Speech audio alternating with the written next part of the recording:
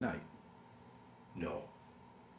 Well, yeah, because it was day classes. Okay. Yeah. So they were running people around the clock. Yes, To yes. get enough people, and the expectation is you're going to be not just sort of engineer types and repairmen, you are going to be flying. No, Or- we or- were going to be maintenance men. Yeah. At the start. Right. Yeah, we are going to be maintenance men. And Right. that's, that's how, uh, that's what it says on the MOS. Yeah. Okay. So you're not supposed to be air crew at that point. no. Oh. Although they did have crewmen who they had flight engineers. Every, and- every one of these were a crewman. Yeah. Yeah, every one was a crewman. Mm-hmm.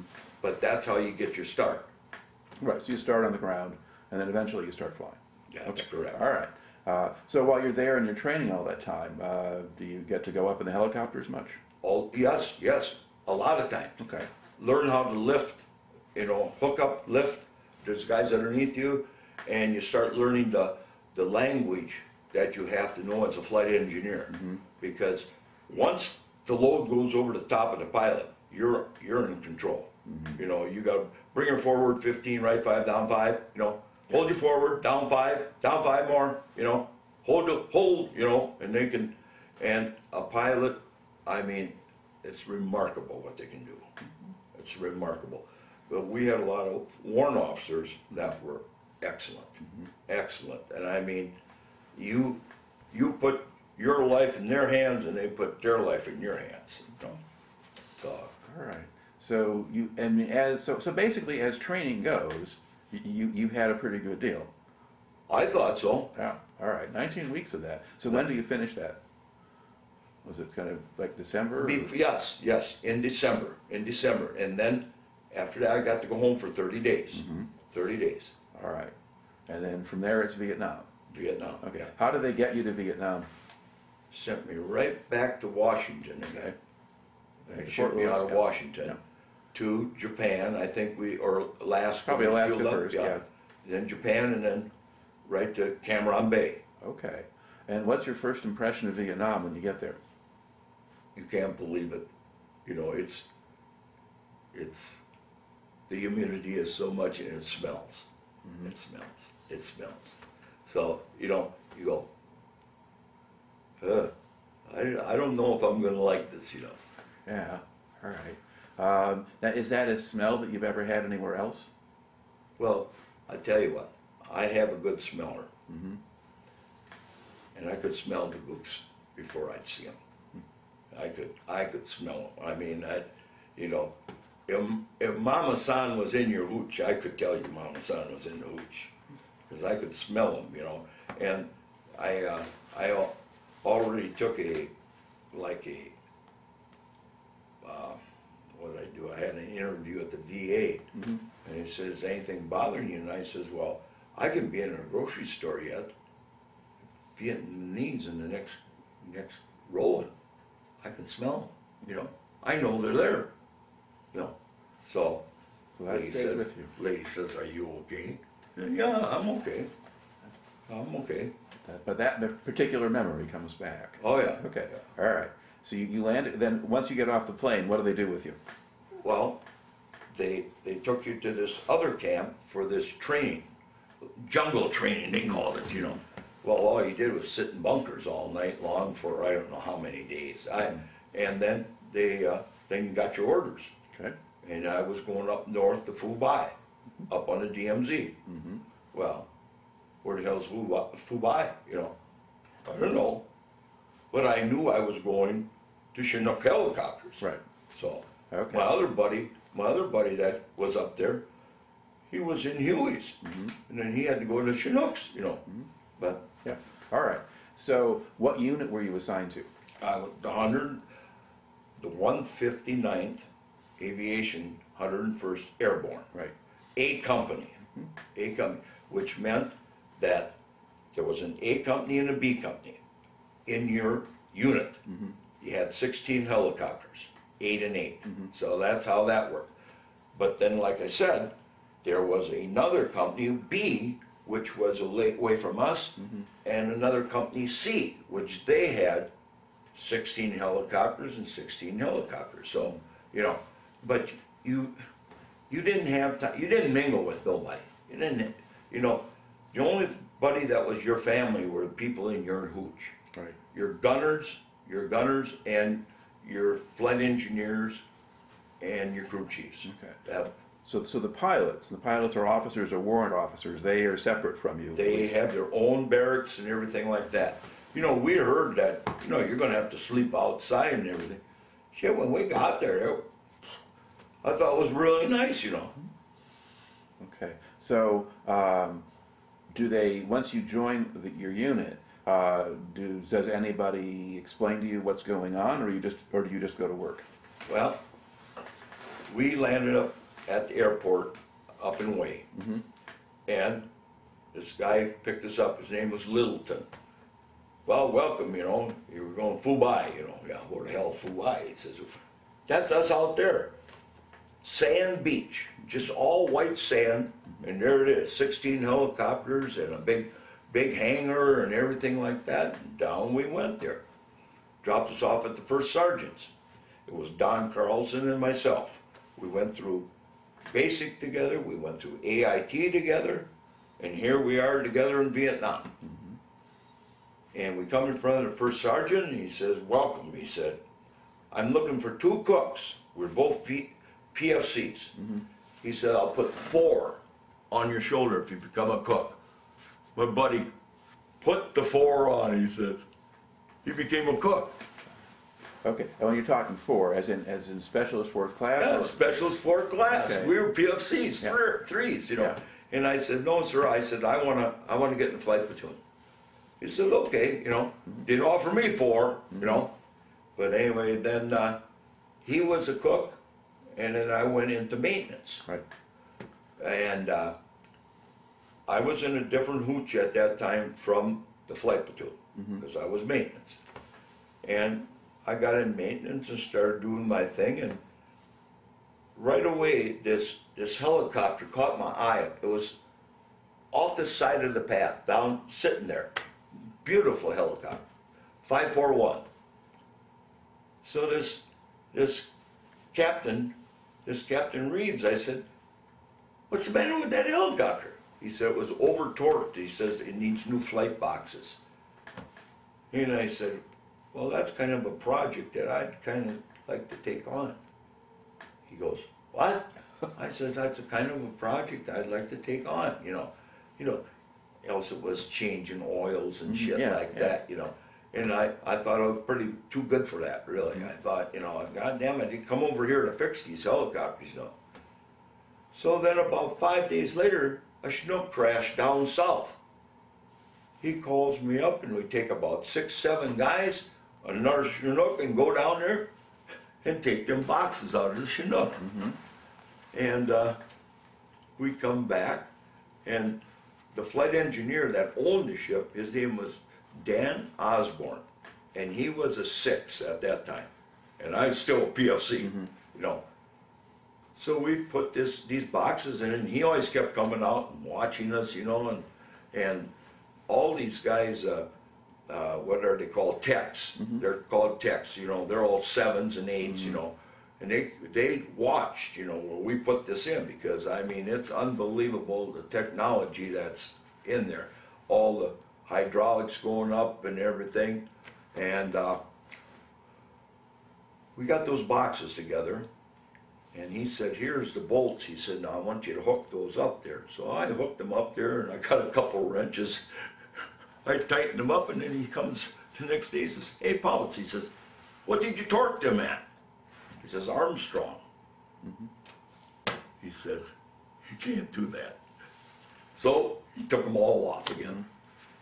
Then we had to wait a couple days for the more screw bolts, these mm-hmm. special bolts, you know. Mm-hmm. And they're, it's in the heater closet and they, they keep going up. They're hy- hydraulics, which tilt the blades and all this. So it goes in there and I put it together and then I said to him, well, now you tighten them up, you know, mm-hmm. because it was the foot pressure on it was only, you know, hand tight, you know. So here he comes out with a little torque wrench about this long. We never seen a Yeah. torque wrench in Vietnam, you know. Jesus, strippers. And he torqued them, and then He said, well, the next day we're gonna go, we're gonna go out and fly it, you know. Hey, man, you know, mm-hmm. get it up and it starts up and we go out and they, they take it off the ground about a foot, you know, so if it crashes, you know, ain't gonna get hurt, you know. And here we are hovering around and all of a sudden here we are at hundred feet and then we're at thousand feet, you know, going, whoa, god damn, that's a, this is great, you know. And then we landed and he says, well, tomorrow it's going online, you know. He says, I'm gonna send Osborne with you. He says, but the ship is yours. Here I'm a flight engineer already. You know, I go, well, hell, I said, I don't know anything. So this Osborne, he was he was a smart ass. He was really a smart ass. He always was in the NCO club and everything, getting drunk every night. He took me out and started teaching me about, you know, the techniques of how to talk to the pilots. That's the most important thing that you have to know. And and you train how to train your guys, you know, because you got a the left guy is your gunner, right, is your crew chief, and every time you dump a load, they have to be out the windows looking so you don't not hitting trees or anything like that when you're going up, you know. Uh, each left side clear, right side clear, you're clear in the rear, ready to roll, you know. Boom, away you go. Go get another load. Go back again. Every fire base in it. It was just continuous. That's all we did all day. Got strapped stuff and All right. So you're based out of Phu Bai. Uh, how far would you fly? I mean, how, how long were the missions? Oh, s- sometimes long, sometimes short. Okay. If you if you see the maps of Ripcord, you know, you know that's kind of straight out. That's uh, that's Cambodian border. Yeah. Or Okay. Laos, probably. Yeah. Laos, okay. Yeah. Yeah, where you right out in front of you. And as the A Shau Valley came by, and uh, that was almost for the, the furthest out, you know. How, how long would it take to get out there? And how long would the helicopter ride be? Oh, I, that that I cannot really tell you exactly. I really can't because, you know, time just kept flying by. But uh, you know, we had to go to uh, Camp Evans and Eagle to get fuel all the Mm-hmm. Yeah, time. yeah. And you put on what 600 gallons of fuel all the time, and you were doing that continuously. Mm-hmm. But it just depends what you're hauling Yeah. because you never topped off the tanks because whatever fuel you put in hurt you on your loads. So that's that was good. All right. So um, typically, how many missions would you fly in a day? Endless, endless, So endless. We, and our biggest concern was that we would come in after six o'clock. We never could get any food. That was our biggest concern because we'd come in in the evening and they'd already have the, the chow line shut down. That was our biggest bitching. And what, once we went to the top man, that changed in a hurry, Good. you know. But with my buddy, Don Carlson, being a cook, I bought a refrigerator and he'd stick a steak in there and then I had a fan. The- three things you needed in Vietnam to survive was a frying pan, a fan, and a refrigerator. Mm-hmm. And he always kept putting a steak in there, and then I'd get in and I'd fry a steak. So I had it, I had it pretty well made, but then I was stupid enough to talk him into coming for coming over, flying with us. Oh. Yeah. So he put in about five, six months as a cook. Then he transferred into the flight. And when we ended up in December, he had his own ship also. Mm-hmm. So All right. Now you're there basically for a year. So how quickly did you start flying? When did you? Well, I would say I must have spent like two months in in, in repairs. Okay. So And then- January, February, you're you're mm-hmm. still on the ground. Yep, yep, yep, And then when? And then is that at the end of that time? Is that when you fixed up your own ship? yep. Yeah. By the time we got it fixed, put together, back together, and then it became mine. So the rest of the tour is yours. Okay. Now, uh, so you're basically flying pretty much th- through most of the year then. Yes. And the first couple of years you missed. So um, were there was the weather different at different times of year? Continuously, continuous. The monsoons, you know, you don't fly very much in the monsoons, but the deal is you get out there in the mountains, and, uh, what should I say? The cloud cover was so bad. A, a pilot landed me on a fire base one time, there was no fire base. And we got shot to shit. And I lost my load on the fire base and everything had to have a cobra come in and destroy the, the load. And I was too nice a guy. I should have, when I, when we landed, I should, probably should have beat him to death. Because we're, you know, he's on radar, I'm, I'm sitting in a hole, you know. But, but that's, that was one of the times that, you know, but you never heard anything like that, you know. It, mm-hmm. it never got back to people where the pilots would screw up, you know. So, Okay. Now, was it rare for someone to screw up like that? I'm sure it was often, often, often, because because you hear of all kinds of things that you know where the loads got to the wrong fire bases mm-hmm. and everything like that. Bringing 155 Howitzers out to a fire base with only 105s on it, see, mm-hmm. you know, so things like that. But then you then they just turn around and you come and get that load off of there and take it to another one. So. Mm-hmm. Now, the pilots who made the mistakes, did they ever get replaced? or- No. No. Just- But the deal is, once you, once you got a reputation in flight, you always got good pilots and mm-hmm. good warrant officers. You always got that, I don't know how it worked out, but they, this Captain Fry, this Captain Fry, which was a lifer, and, uh, he asked me one day, he says, hey, chief, he said, now, if we're going in and I get shot up, he says, can you, can you get us home? I says, I'll get you home. But I said, I'll crash on the way coming in. I says, I can't land it, I can't take off.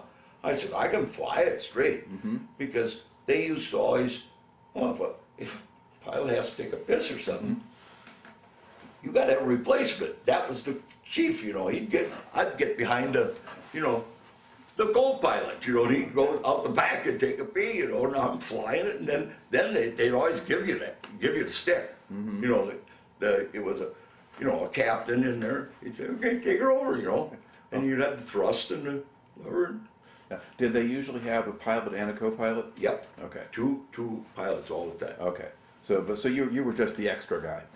No, I'm, I'm not an extra guy, I'm the most important guy, the ship belongs to me. Well, yeah, no, but I meant in terms of actually flying the thing. Yes. Yeah, you're, you're, you're the emergency backup. emergency backup. The next day after we talked, we were, for some reason, we weren't flying. And he came and called me out to my ship, and we went flying for eight hours. I don't know how many times I landed that ship and how many times I took off, but it was continuously. Mm-hmm. And we'd be flying along, and he'd say, Chief, we are in what you call a crash dive. And I go, well, what do you mean? He said, look at your, your wings. I'd have them straight down, you know, like this. He says, keep them, watch that there. He says, he says, you look outside all the time. I'm flying along and I'm watching it. And he says, you can't do that. He says, you gotta watch the, the wings, mm-hmm. you know. So, you know, that's how, in a day, in a day, I could really wheel, you know, make turns, you know, all day, you know, with your feet and with the thrust lever, you know, when you go up, you forward and then pull the thrust up and you bring her up like this and away you go, you know. Okay. And he was he was proud. He was proud to have me, and, and he flew a lot with us. I mean, and the warrant officers too. You had really high class warrant officers, and they knew that if you go out and you get in trouble, we're going to come home. You know, that was the main thing. Okay. So would you uh, have different? So you were always pretty much on this, the same helicopter, right? Only one. Yeah, you just had your one, but the pilots would rotate. Yes. Okay. Yes. Every day. And did the pilots kind of did they get the more senior ones? Did they get to pick who they flew with? I think so. Yeah. I really think so. I really think so. I think they did. So you had some guys that you work with regularly then. Yes. Yes. All right. You know, and then if you'd see these warrant officers walking down the deal, you know, you give them a salute, and they, they always say, "Would you cut that shit off?" You know, because it was always a deal. If there was a sniper watching and you salute Yeah. somebody, they'd shoot the other guy. You know, it was always a joke. You know, mm-hmm. but if you're walking down to the mess hall or something, you know, you didn't salute nobody, you know, but you would do it just for the hell of it, you know. Yeah. Now, did the warrant officers act differently from the Oh, yes. regular officers? Oh, way different, way different. They would come and drink beer with you in your hooch and, you know, they were just normal people. It was wonderful, but, you know, the lifers, they had to, you know, they had to, had to show respect, you know. Yeah, yeah. you know, we never, never, did never show them disrespect. Yeah. You know, but you you know, you got your assholes in any unit or something like that. Mm-hmm. There was people getting thrown in their brigs for stupidity and stuff like that. But flight platoon, you're you're you're your own company. Mm-hmm. You know, nobody comes nobody comes in your hooch. Nobody comes in your hooch. If you don't belong there, you don't don't come in. Unless you're invited. That's right. Yeah. All right. Now the uh, you know there's lot there are lots of stories about life in, in, in camps in Vietnam and stuff like that. And one of them is a lot of people were using drugs and that sort of thing. Uh, does that happen in a flight unit or is that? Yes, yes, it does. It does. It's what you had to watch out for the most, especially in maintenance, that it got classified as heads and juicers. Mm-hmm. That's how the, a company gets classified. Yeah. Heads and juicers. And the flight platoons were juicers. Not the, not the second platoon. Mm-hmm. They were known as heads.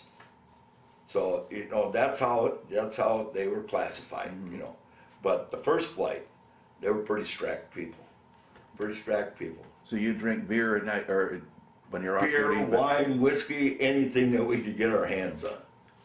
And being a being a flight engineer, you still got your card, but you couldn't buy the booze. Mm-hmm. But when you went down to Da Nang, you just handed it to the, the pilot. He always bought you five bottles. Mm-hmm. You know, Kessler's at a dollar ten cents a fifth. Was was Oh, Okay. Uh, now, was there more of a problem if- if the people were, you know, smoking pot or whatever? Did that affect them in terms of how they performed their job? Well, you knew, you knew pretty well. See, when they would pull maintenance on your ship, you already knew, you know, you'd see who was there and you would be right behind them. You know, you never trusted anybody Okay. because they had a person, who- the mechanic Murphy killed more people than anybody else. And Murphy was the guy who fucked up, you know. You know, he- and was high or mm-hmm. whatever and didn't know what he was doing. And you'd fly away and explode in midair, Murphy got you. See, that was it. Murphy was the guy's name, you know. So it was, and you you you just knew the people, who to trust and who not to trust. But there was a lot of it going on, a lot of it going on because Mama San would bring it in and it was it was cheap and everything like that. All right. Uh, and then, would you, you would you be able to go off the base a lot, or? was it- Not when you were a flight platoon. Yeah. No. Cooks and mechanics and everything like that, they, I think I was to a PX maybe three times in a year. Else I was always on flight. And I had, I, uh, at the end of my flight, I was going into a major, and that means when they got changed the big components on your helicopter and that, and then my my days start slowing down, and then I I got good jobs like going down to Nang picking up beer for the PXs and stuff like that, short runs and that because they didn't want to major my helicopter. So that's how, you know, at the end, so I got I had pretty good. Okay. All right. Now, uh, you mentioned you you you went to basically pretty much all the fire bases all around that area of I would say so. Yeah. And on that slip, there was fire bases that, some names, that I think were gone before I got there and came after I left, Mm-hmm. you know. But talking to a, uh, talking to one of our, friends on first flight there, and uh, he stayed, he re-upped. Mm-hmm. And we left, we left Brock Miller left in November, and I left in December. In the following, de- following December, Phu Bai wasn't there anymore. Yeah, they were, they were pulling out and dismantling a lot of They were stuff. running, they were run over. They were run, o- you know. Well, that, that's true, because in 1972, when the North Vietnamese invaded, Coming they went, yeah, they got all the way Camp down. Evans, and they came all the way down. Yeah, they got, they got almost into Hue before they were stopped, and Phu Bai is outside of Hue, so, yeah, yeah. Yeah. Can you believe that? I mean, but uh, my friend Brockmiller there, he talks to a lot of people, and they said it, it's it was just unbelievable what happened, you know. And I said, I'm glad I was home. Yeah. I'm glad. Now, uh, of course, we're here at a, a Ripcord reunion. Ripcord is one of the many bases you went to. Now, what do you remember about flying to Ripcord? What do I remember? Yeah. Putting it up there. Okay. putting it up there. I, I brought, I know that I put that, that quad fifties, that quad fifty up there that's sitting on there. I know I put that on that still, you know, mm-hmm. and I know I hauled a one five, one oh five out there because I couldn't haul of one fif, one five five. And there was one oh fives and one five fives Yeah, out right. there. But they had to be brought in by a hook, you know, So the heavier a ones. sky crane kind of thing? Yeah. Yeah. So, but ammunition, ammunition, ammunition. And I said, you know, a- and the guy said to me here at there, I said, you know, you remember, you guys used to always give us the finger coming in, coming in, because any shelter half or anything, we ripped, you know, it was flying in the air, the sandbags were flying in Right. the air that they wouldn't full, and everybody was pissed off. And I said, but remember, when you were out of ammunition and they're coming up that hill, here you were, Yeah. bring her in, bring her Yeah. in, you know, and here we're getting bullet holes all over, and yet you wanted to, you come on in, you know. And I told these guys, he says, no, I don't remember Chief ever guys giving you the finger. And I said, I was number one on a lot of fire bases, you know, because we ripped everything apart Sure. when we came in. So the wash from the rotors was. Yeah, the rotor wash was so tremendous, you know. Okay. Now, there were three attempts to set up Ripcord. And there was one in the middle of March, and there was one on the first of April, and then there was the main, then the middle of April is when they actually finally established the base.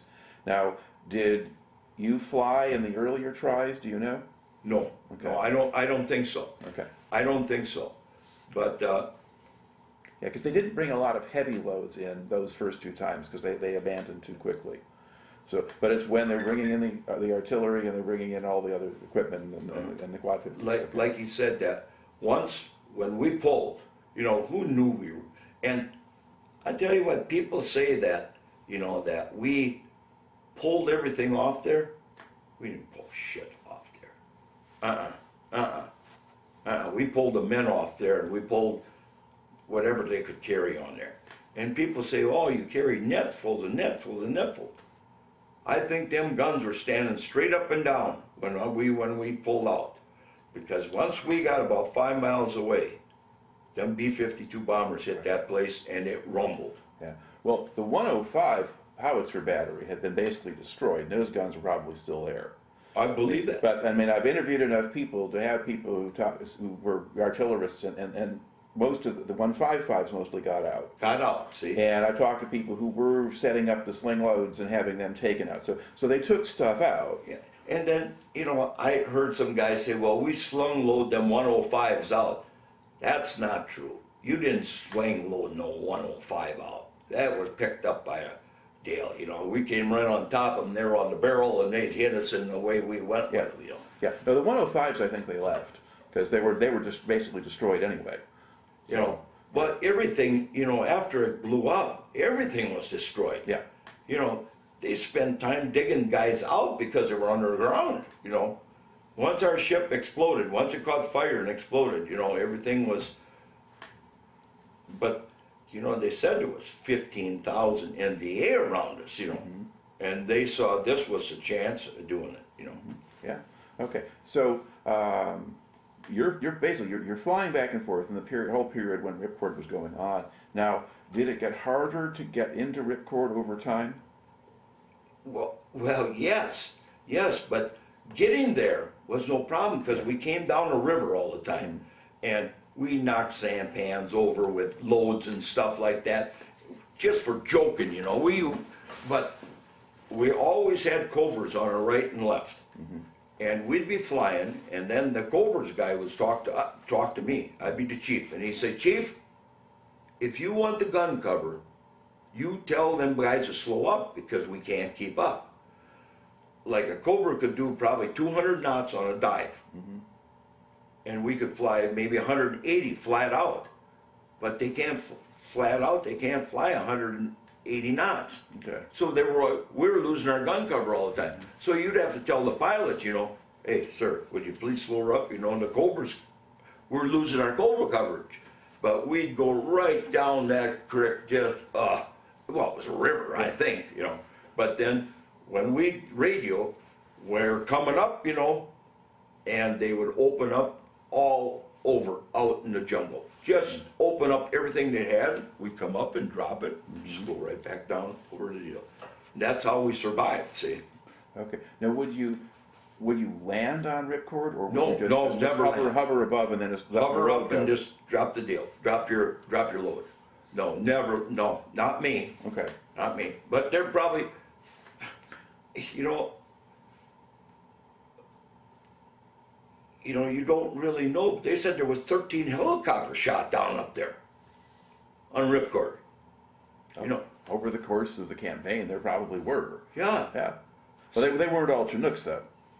They were Hueys and yeah, but there was a lot of Chinooks. there were. Chinooks. There were definitely Chinooks. Yes. Because I took a front rotor blade off there, dropped over the mountain, taking it back to base, and a pilot said to me, he said, Chief, how's that rotor doing? And I looked in the hole, it was gone.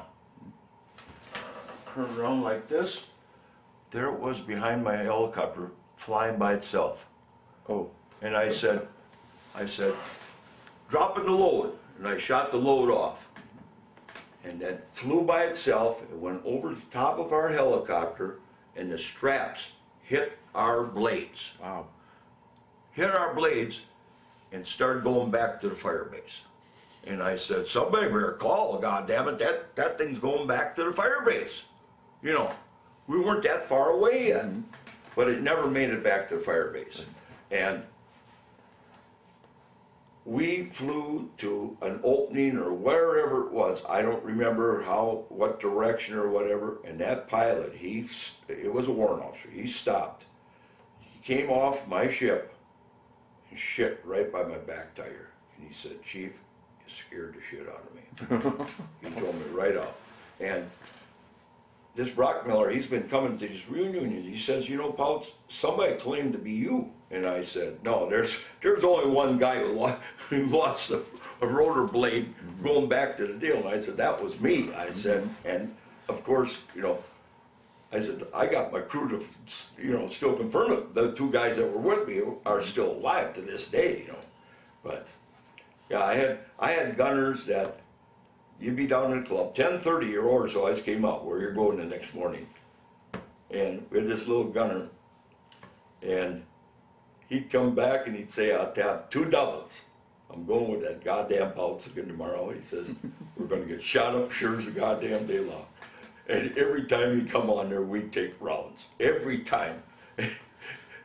Yeah. Did you ever actually get shot down? No, no, never got shot down and never got close to being shot down. Lots of holes. Yeah. Uh, fuel blivets, uh, for me, the, the, what should I say, the maintenance men, they were pissed off at me a lot because it was always blivets, because they always oh, shot you in the fuel tanks. You know, Now describe. A lot of people won't even know what a blivet is. a blivet, it's where the fuel goes in on the side of your side of your ship, and and on a Chinook, you know, they're out, you know, like the pregnant on the side. Yeah. And you just take that and you drop that down there, and the fuel blivets are inside there, mm-hmm. and they have a compound on. If you shoot through there, it doesn't leak out. Mm-hmm. It seals it up right, Right. away. But you cannot leave that in there Yeah. because that bullet's flying around there and all of a sudden it gets in your fuel line Sure.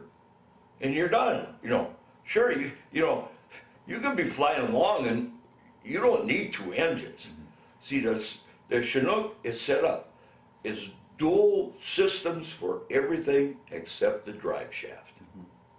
And the drive shaft, if they get you there, there's no hope, you know, so, so, but they, they really didn't shoot at the drive shafts, you know, they, that wasn't their big deal.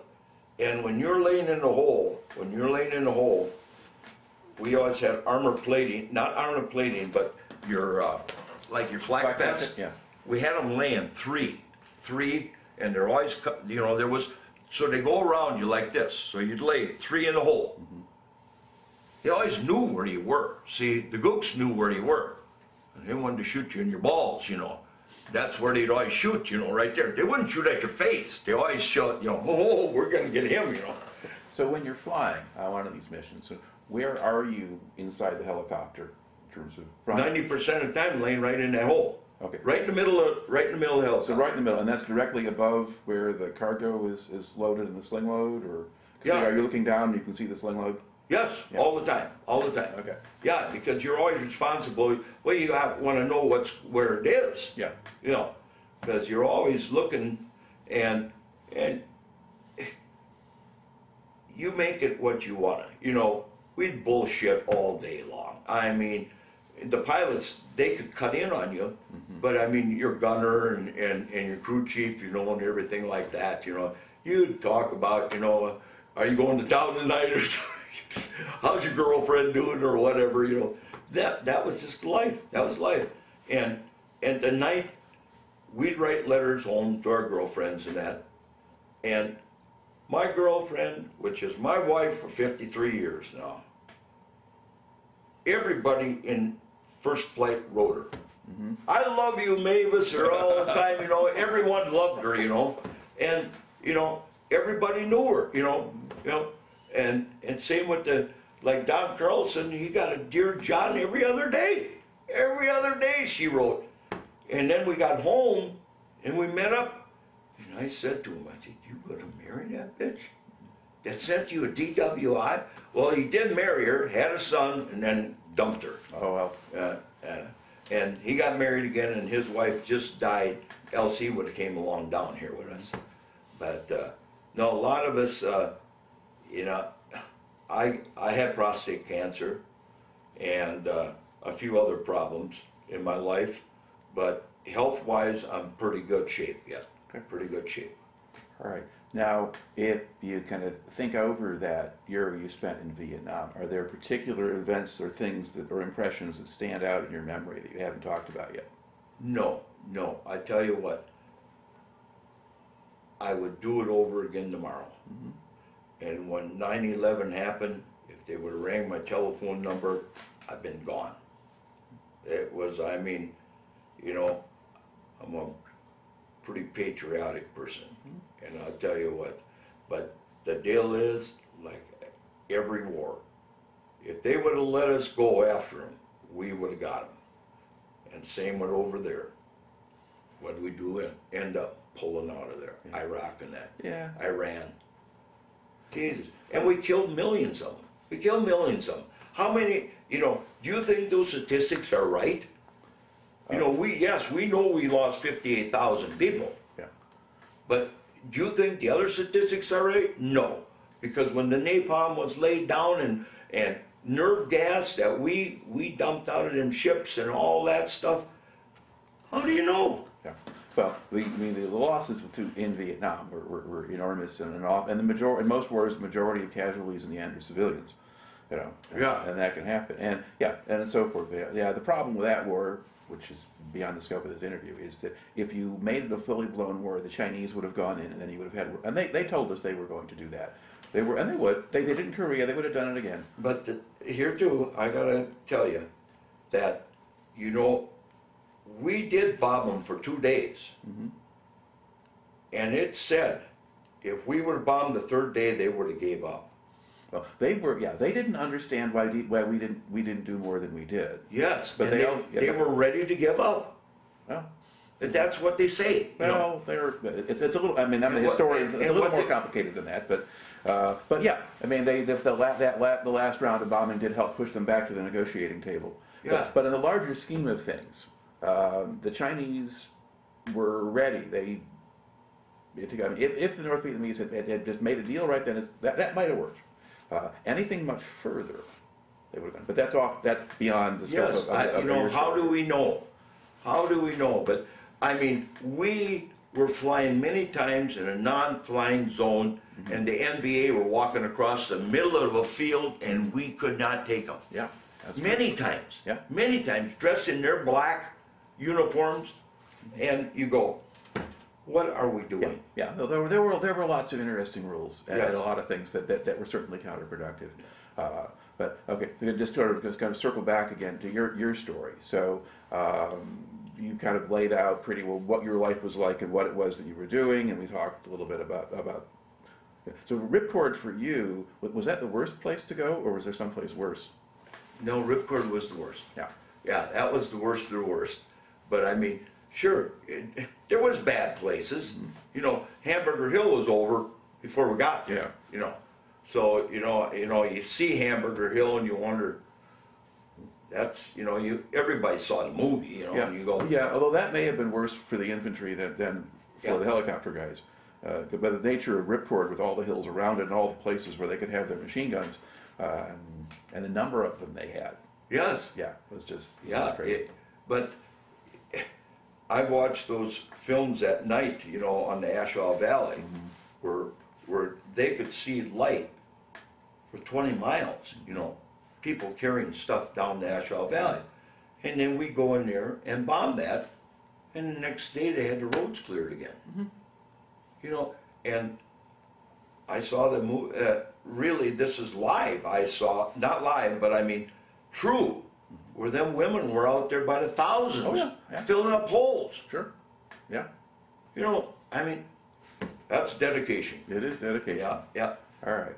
So uh, now you said as you got short, as you got toward the end of the tour, so you were basically trying to avoid having your ship go through a major overhaul. That's right. So you found excuses to find ways. no, no, no. I didn't find any excuses. I wanted to fly every day. Yeah. They didn't want to do the overhaul. Oh, oh, they didn't want to do No, it. Okay. the, the company Okay. didn't want to do So they just overhaul. Had you doing the other No, missions we instead? no. That was that wasn't That wasn't my you. priority. I would have rather been flying every hour of the hour. Mm-hmm. But when you get, like, I think I had 555 hours combat flying time or something like that, you know, and then, you know, you just put that, how many days in that. But you got to remember when it was, when you're socked in, you know, nobody flew, Yeah. you know, Yeah. Uh, So what did you do all day if you weren't flying? pull maintenance on the ships, Mm-hmm. you know. Uh, when you saw other helicopters, you'd go, I just cannot believe this, you know, oil all over them and stuff like that. Not in our flight platoon. Mm-hmm. Not in our flight. There was, there was no dripping of oil or anything like that. We took pride in that. Then they point. We had pachyderms. You know, we're the pachyderms. We had them on the front of our helicopters. Well, then they came down with this stupid deal that oh that that wasn't you know army issued, so they had, would paint them off there. Then we go back and paint them on there again, and then they come the next guy. I thought we took them off of there. Oh no, you didn't take our mine off, you know. Then they'd repaint over them again, and then they used light paint. So when it rained, paint came off. Then the pachyderm was there again. So then after we couldn't do that, we painted our wheels. First flight painted wheels. Everybody had different color wheels. Well, when you fly by somebody, all you had to do is look at the wheels. You know who it was. You know, and then you you know give them the high five or whatever. You know, back and forth, back and forth. And uh, but if a helicopter got shot down, uh, a Chinook, everybody went there. Yeah. You know, everybody. It was you know in in our area went there to make sure that you know, if it's burning and everything like that down there, you go, you know. Yeah. Did you ever have to pull out a, a damaged uh, Chinook, like fly yours to pick up another one? No, but I picked up many Hueys and Cobras out of the jungle. Okay. But they had to blow the trees so I could get down. Right. So they could get on top. You know, they're always on top. And bring, Yeah. But the worst thing that I've ever seen in my life was the medevac. We had a medevac up there. And there was a Huey that I picked up, and I don't know, remember where I took it, but I took it to the junkyard, whatever, I'll Yeah, say this. I've never in my life seen so many holes in a helicopter, and it was a red cross on there. Mm-hmm. If there was one hole in there, there was a thousand holes in there. And blood from one end to the other. And I just go, oh, geez, Lord, what in the heck? Why a Red Cross? Mm-hmm. You know, and I just, I, you know, things like that just don't register to me. Mm-hmm. If they, you know, you're trying to get your deal, we, we let you get your wounded out of there. Mm-hmm. Why would you not do it? But that, that's the worst I've ever seen something in my life, you know. And I just think if we would have had our, our telephones of the day then, Yeah, everything would have been out in the open. Everything. yeah, Because when you're out in the jungle, you can't take your box camera along and then, it, it, you know, they, they were all destroyed. And then if you mailed it home and never got home anyway, for your mother to, you know, to, to, uh, take, send it in and get it, you know, because you, you, most pictures, they look through every one of your pictures before, you know, after you had pictures taken. So you wouldn't get your pictures back, so. Uh, but, but just think of a cell phone of this day and age. Oh, oh, yeah, well, a cell phone could run the entire helicopter. You know, the, the software would be good enough, it, it could do all Yeah, but I mean, But yeah, but yeah, there, oh, sure, You sure. know, Yeah, we, I, I think maybe the second, uh, Device I got, I was flying with this, this one guy named Sweeney. And we're coming in this fire base, and a mortar round goes on underneath us, and they're taking incoming. So he pour, he threw smoke out, and we called in a gunship, and a gunship scraped the deal. And then there was some Australians down there, and they called us and said, "Hey, Chop, you know, good count. You got a big head count down here, and we got them, you know." Mm-hmm. And I mean, we didn't do shit. We got, we, we were standing there. We got, the, you know, mm-hmm. flying cross with the V device on there. And I thought, well, that's what we're after, you know. yeah, But I mean, things like that just happen to us, you know. okay. This tape is about up, so we're gonna pause here. I'm gonna rewind, reload, and, all right. Now, uh, another dimension of sort of life in the fire base, what you were talking about off camera a moment ago. Uh, so you had chaplains then at the base? Yes, yes, they came, they came quite often, quite often, and they used to record us, you know, and then send it to our churches, you know, how you're doing there and everything like that. And, uh, like, uh, there was quite a few people who attended. Yeah. Yeah, it was unbelievable, so they, they had to be some, some believers, you know? Well, I don't know. I mean, did, what did you get out of that? I mean, because you went regularly. What? Did you go regularly or when you could? whenever I could, Yeah. whenever I could. And there was a group, you know, a group of us, but we weren't Bible people or anything No. like that, you know. But you know, I grew up in a small community, and church was very important Yeah. to us, you know. Yeah. So you get a little bit of almost normal life there. Mm-hmm. Okay. Now, did they rotate who the chaplains were? So you, I, I think they did. so you got I- different denominations yes, and that yes, kind of thing. Yes, yeah. But you know, we're all. When you went to church, it was every nomination there. You know, Yeah, yeah. We had, you know, it, they didn't say, well, the Lutherans have to come or Yeah, the Catholics yeah, yeah, have to right. come or whatever. You know, we're having church. You know, then you'd go in and it was short and sweet. You know, you know, you always, you know, God bless you when you're in your flight and everything like that. And it just made you feel a little bit more at home. You know. All right. Now, did you take an R and R while you were in Vietnam? Yes, I did. And Yes, I did. I went to Hawaii. Okay. My father had a stroke. Mm-hmm. And I sent for my mother to come over and my fiance. Mm-hmm. And we stayed at the officers' quarters in Hawaii. And I showed my first sergeant, I'd get letters and I'd write, my mother wrote me all the time and sent me packages and mm-hmm. everything. And all my mother would always say is, your dad and I are fine. Mm-hmm. And then I'd get one from my relatives that'd say, boy, they almost lost your dad again, you know. So one night I went over to the first sergeant, brought a six pack, and went in his hooch, and I said, "Would you read these letters and tell me what's going on?" You know, Mm-hmm. because you know your mind gets screwed up when you're there. You know. And he said, "Brian, if you want to go home, 48 hours, I'll have you home." And I said, "Well, I don't know what's what's going on." You know. I said, "Well, just we'll cool it." Then I arra- made all those arrangements, and I met him there. And when I got off the bus, there my dad was, and my dad was a very strong man.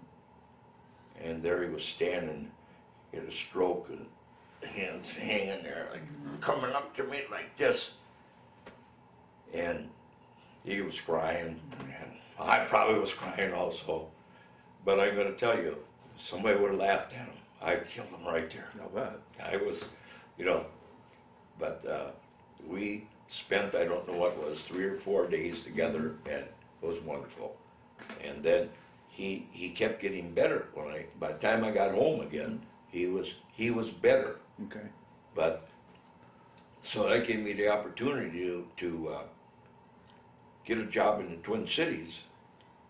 And then in 1975, he was down in the Twin Cities with me and my wife, staying at our apartment with my mom, and uh, he stroked out, died at died there. Wow. And I'm the only son, so I had to go home and run a salvage yard for him. So I ran for 25 years. I went home, ran for 25 years. So All right. Well, that jumps a little bit ahead in the story, but it was good to get that included. So you, Mhm. you had your R and R, uh, and then and come back again, uh, and then um, you know, I couldn't even tell you what date it was. Yeah. you know, Yeah. But you know, I went on R and R. yeah. But, but uh, it must have been halfway through your. Yeah. Well, you got to some extent. You got to pick once you were there a certain amount of time, Mhm. and especially if you're on a base, and so you can communicate with the people who make those arrangements. Mhm. You know, it's, it's not too hard. You know, and, and, finding a helicopter ride out to wherever the airport was going to be. That was was, you hard. know, when you were in flight platoon and everything like that, things like that were no problem. Yeah. You know, you could get anywhere you wanted to get, you know. And when we were filling up, like up at Evans and that, you had colonels and captains, full majors. Where are you going? You know, can we bump a ride? Yeah. You know, we take them all the time. I mean, here we're filling up a fuel. Yeah, we're going back. We'll get you. We'll get you over here. You know. Yeah. You know, they just wanted to get going. You know. Sure. So Uh, now, when you were flying some of these sling loads and things like that, or if you're particularly say if you're carrying, you know, a fuel, would you like a sling have like a fuel blivet below you sometimes if you're going to take that to a base? Yeah. Now, did those things ever get hit and shot up? who knew? Oh, You never knew. okay. So if a fuel blivet got hit, it didn't blow up or No, fire. it never blew up. No, they just sealed and They sealed, and you know, you'd always think that. I think in their mind, in their mind, if they could get a tracer round in there, Yeah. They were going to blow you up. But that wasn't true. That wasn't true because I, like I said, the sheet metal men and that they changed so many that they were pissed at me all the time, and then they cut them open and give you, you know, yeah, you always find the shells, they uh, the the bullets, you know, yeah. they find it. Okay, all right. Uh, so now you, you get you get in, in December now, 1970, kind of time to go home. How do they get you home, or do you got anything else you want to throw in here first? Well, I'm telling you what, there was no idea that we were going home. I wasn't supposed to go home till January or February. Okay. So then I went up that one night and on the board to see where I was flying, you know. Mhm. And it said, Pautz and Carlson, DEROS in three days. So I took that off the wall. Went down to first sergeant again because he was a hell of a nice guy. Mhm. So I walked into first sergeant. He says, "Come on in, Pautz." You know, he knew me by Yeah, first yeah, oh, name, you know, not by first name, but by Pautz. You know. Yeah. And I said, "What is this?" He says, "You're going home in three days." I said, "I am not going home and have to polish boots for three months." I said, "I want to stay." He said, "No, you can't." I go, What do you mean I can't? I said, I'm not going to the States. And he says, No, he said, You're getting out of the Army. And I said, I've only been in 18 months. He said, Yeah, Nixon's pulling you out. Mm-hmm. I said, Geez, I must be one mean son of a bitch he's pulling me out. and I says, First off, I got some more questions. I said, Honorable discharge? He says, Yep. I says, Well, then I'm ready to go home. Mm-hmm. So then Carlson, he was on a mountaintop with a flare drop. You know, we put, go on mountaintops, mm-hmm. and then if they get in a firefight, we'd fly around. We had big canisters we'd throw through the ship mm-hmm. and light up the whole area Right, right. so they could see and fight, you know. And he started up, his- made his pilot start ship and come on back home. He almost got court-martialed for that.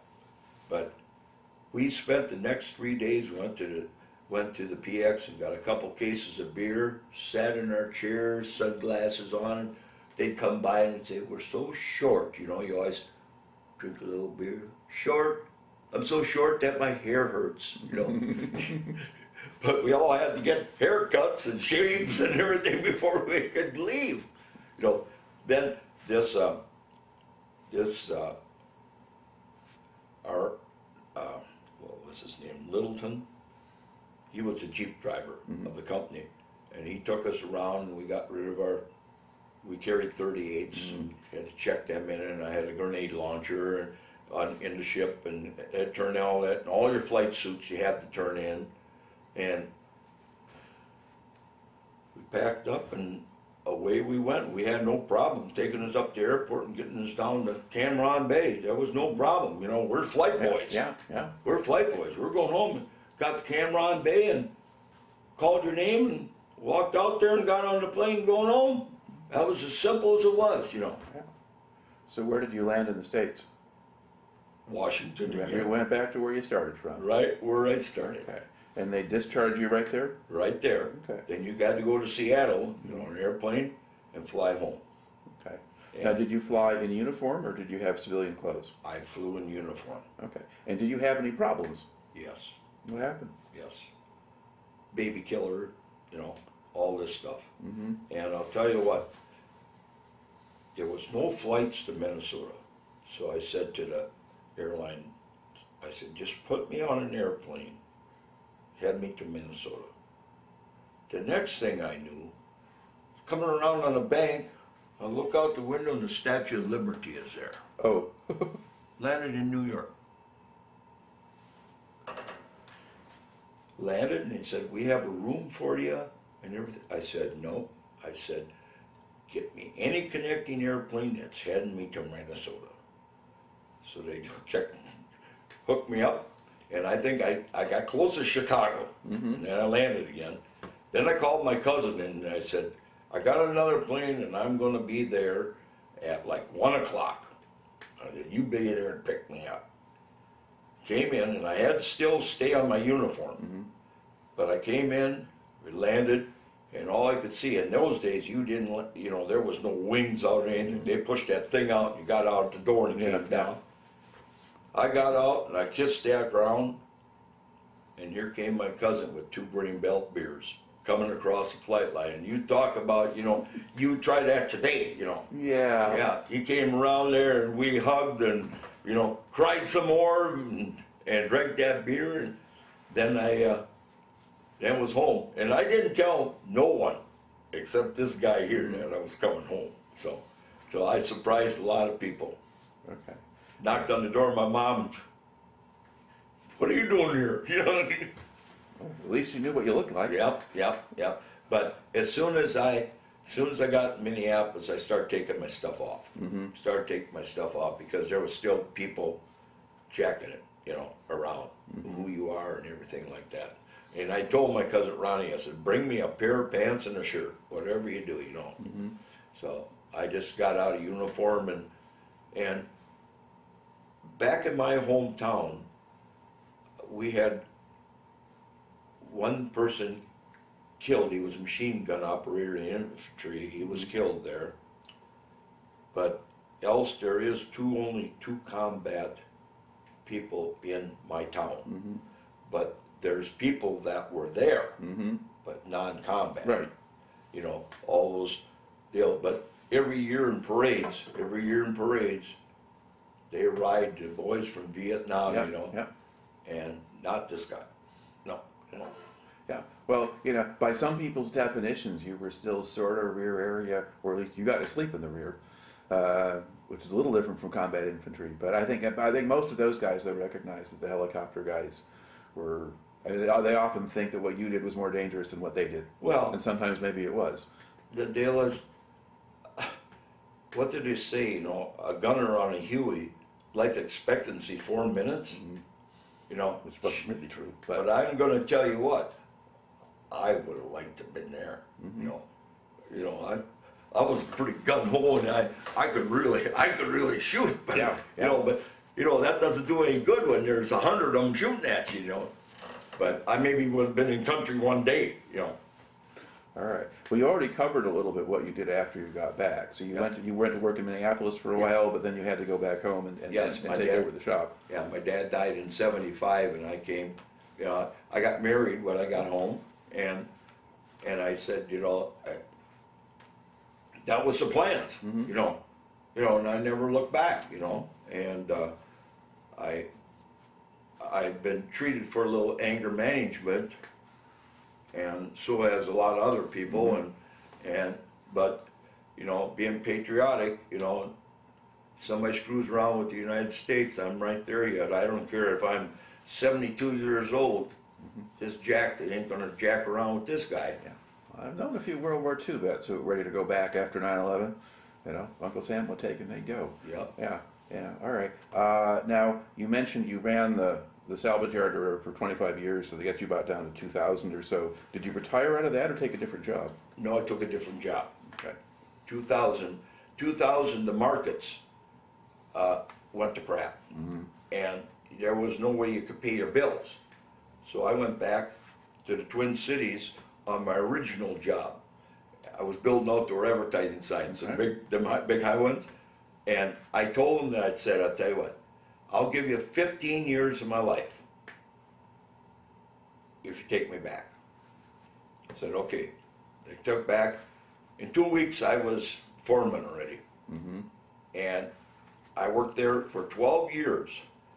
And the company had made 37 million point six, 37.6 million dollars. They froze my wages and took my bonus away. And I was 62 years old. I had 12 years in, and I had five years in before. So I had 17 years in. And I said, boys, I can't work for a company that doesn't respect the people that make the money for you. Walked out the door. Well, I had my union representative along, and my birthday is December 28th. So I'm sitting there with my representative at, with the bosses, and I said, uh, I'm going to, December 28th is my last day. Well, you get the week off before Christmas anyway, if you're union, you know, mm-hmm. and you get the first off. and You gotta come back on the second. So my union representative says, no, he's not retiring on the December twenty-eighth. He's gonna retire on January second. So I said, hey, he's my union representative. So I came back for one day, mm-hmm. got on my crane, went out and craned all the stuff they needed up and everything like that. I came in, grabbed my toolbox, threw it on my pickup, and left. A week later, I got a payroll check for fifty-six hundred dollars. They had to pay my, all my holidays and All those unpaid vacations. That's why you're union, see? Yes, yeah, there are things to be said for unions. Yep, and now this day and age, I get a, I get, I belong to the international union, and I belong to the local union yet, which is local ten, where, uh, we're sheet metal men. Yeah. But anyway, I get an international pension, and I get a, get a local pension, and my social security, so. All right. Uh, now you said already, yeah, this is you know you think of your military career, you, you, you go back and do it again. Uh, what do you think you took out of that, or how did being in the service affect you? How did it affect me? It, it really, it affected me that, to show how the government was so screwed up. yeah. that's what it, it taught me, you know, that you can't trust anything, you know, and that's why, you know, when it comes to Republican, Democrat, I'm pretty radical. You know, I'm a Trump man one hundred percent. I'm sorry for that, but I am. And I could have told you that Trump was gonna win when I went up to the polls, when Trump was running, and everybody that were young were lined up for miles to register. And I knew that something was, there was a change because people were sick and tired of this. And they are sick and tired again. And it's gonna, something's gonna happen, something's gonna happen. So, and Minnesota, you know, we, we're, uh, you know, we killed Floyd, you know, and, and started the whole world up in arms again. But we have a governor that we'd love to see get out of there, but there's no way we're gonna get him out of there because the Democrats, there's two and a half million people in the Twin Cities, which are Democrats, and the rest of us are Republicans out in the small town, and there's only three million people. Three point two million people in Minnesota. So you can't beat them, see? Majority rules. Politics. It's a democracy, yeah. Politics. Yeah. Well, yeah, and there's, and you, and you saw in a way some of the uglier dimensions of what happens when a government gets itself into something it doesn't even always understand, which is sort of what Vietnam was. Well, just look at uh, look at their uh, look at the hippies. You know, did they did, they put a kind of a stop to this? You know, they they had a lot of power. You know, when they demonstrated in Washington and that. You know, Well, in the end, if, if it were just them, it wouldn't have happened. That You, you had a whole lot of other people who were not happy either. But that's a whole other can of worms. Uh, but in the meantime, I would just like to close this out by thanking you for taking the time to, to share your story. It's a great story, and I appreciate having you. thank All you, right. Yeah. thank you very much.